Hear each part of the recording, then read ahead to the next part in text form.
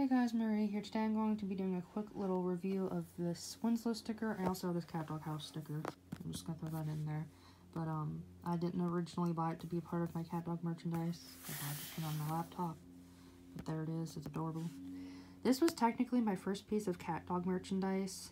Um, if the first thing I ever bought that was CatDog related is what you're going by or what we're going by or whatever it'd be this. I got it off Redbubble. It is fan made. It says, "What are you nuts?"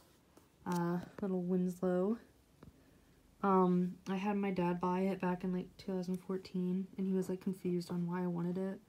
But um, yeah, I just recently put on my laptop. I used to have it like on the original piece of paper it came on, but I decided I had enough room, and I really wanted Winslow on my laptop because Winslow is my baby. But it's so cute. There it is.